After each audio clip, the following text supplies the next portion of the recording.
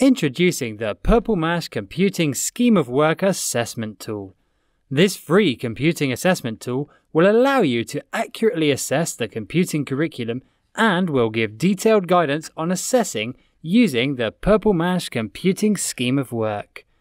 There are a variety of different versions of the assessment tool, allowing it to meet the needs of your school situation.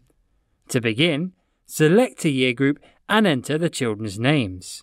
You can enter a whole class or a select sample of children to assess. In each year group, you can assess using the National Curriculum Objectives for Computing.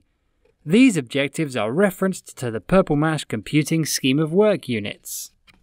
Data can be entered by identifying the child and the objective to be assessed and then clicking on the corresponding empty cell.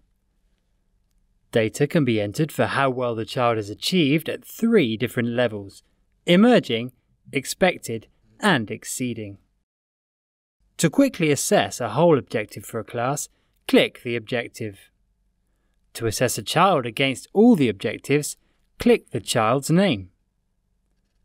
For further guidance on emerging, expected, and exceeding, click on the unit linked to the National Curriculum Objective. This will give detailed explanations of what emerging, expected, and exceeding look like for the objective in each unit. The Computing Scheme of Work Assessment tool will then process the entered data to give children an overall understanding attainment grade for computing. Furthermore, it provides accurate data for the percentage of the curriculum understood at emerging, expected, and exceeding. Not only that, the Computing Scheme of Work Assessment tool gives the percentage of the class at emerging, expected, and exceeding for each curriculum objective.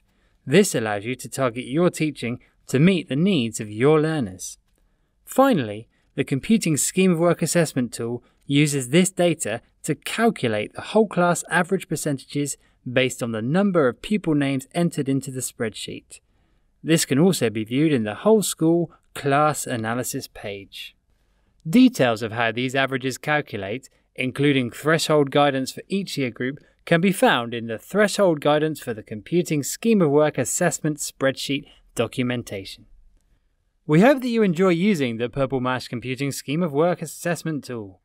To find out more about how Purple Mash can be used to improve computing in your school, click the link below or visit www.2simple.com.